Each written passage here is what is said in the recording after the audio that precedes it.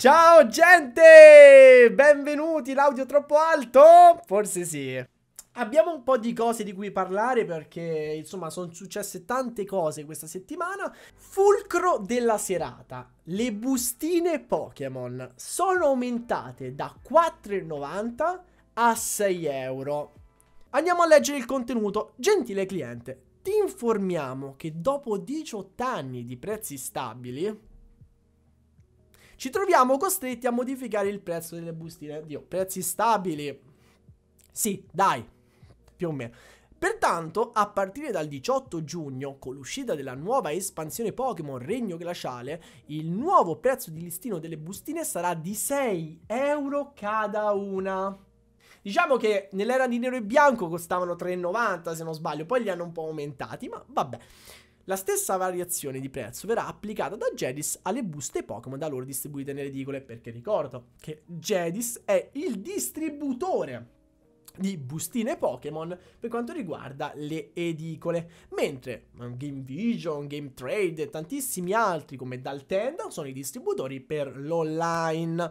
Quindi Jedis è una cosa, gli altri sono un'altra cosa. Cogliamo l'occasione per ringraziarvi del continuo supporto. Diciamo ragazzi che ovviamente da distributori di bustine uh, alle edicole anche Jedis appunto applicherà questo, questo cambio.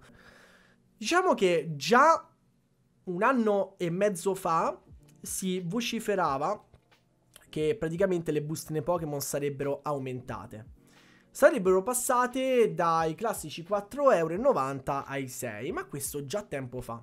Se vi ricordate, eh, era uscita una comunicazione da parte di The Pokémon Company. Tuttavia, questa modifica di prezzo non è stata apportata perché è scoppiato il Covid e giustamente i fornitori hanno detto ma perché aumentare il prezzo delle bustine ora con il Covid che purtroppo le famiglie non ce la fanno a comprare le bustine perché appunto non lavorano, non fanno tante belle cose. Però a questo punto, passato più di un anno, i fornitori si sono dovuti adeguare no? a, questo, a, questo, cambiamento perché l'importazione dall'America ha un costo, ha un costo che probabilmente è, è maggiorato nel tempo. Voi vi basti pensare, no? Um, che la distribuzione qua in Europa non esiste. Cioè non esiste una fabbrica dei Pokémon qui in Europa. Perché se esistesse qua in Europa una fabbrica che stampa le carte Pokémon, ovviamente ai distributori costerebbe meno e a, e a noi fornitori, che poi diamo il prodotto a voi, ancora meno, capito? Avete capito un po' come funziona? Con l'importazione dall'America all'Europa, dall'Europa all'Italia, c'è un passaggio, ragazzi, infinito. E tutti questi costi di importazione pesano sul prodotto, ok? E di conseguenza i fornitori probabilmente non potevano più sostenere questi costi che con, ok, con le nuove leggi sono aumentati.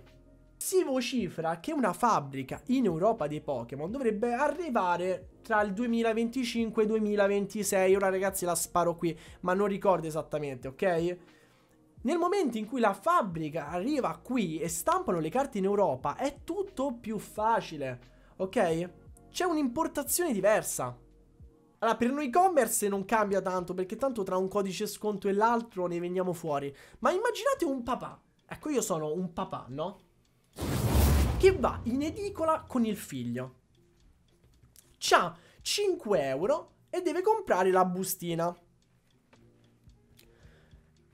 Se appunto la bustina costa 6 e non ha l'euro in tasca, il bambino non riceve la bustina, deve tirare fuori 10 euro. E già al papà, insomma, non è che è tanto felice di tirare fuori 5 euro. Figuratevi 10 euro e ricevere gli spicci. Ok?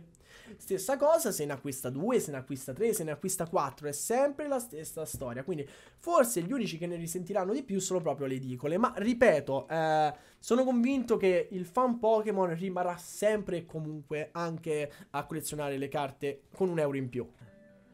Ragazzi, le bustine aumenteranno, sì. Sì, aumenteranno di un euro, ma le collezioni gli Elite, le PIN, le TIN non aumenteranno di prezzo. Non aumenteranno di prezzo nelle collezioni, nelle TIN e nelle PIN. Niente di niente, ragazzi. Per il momento. Oh ragazzi, per il momento non lo so, non lo so se per il momento no. Tenete conto che questa cosa eh, darà molto fastidio ai collezionisti che cercheranno di completare ovviamente i set. Per tutti i casual, cioè tutte quelle persone che comprano una bustina ogni tanto, due o dieci bustine, non cambierà tanto. Non cambierà molto, perché alla fine ragazzi sono pochi euro in più. Ma per una, per una persona che deve, deve comprare 1, 2, 3, 4, 5 display per completare un box, là iniziano a essere soldi. Là iniziano veramente a essere tanti, tanti, tanti soldi.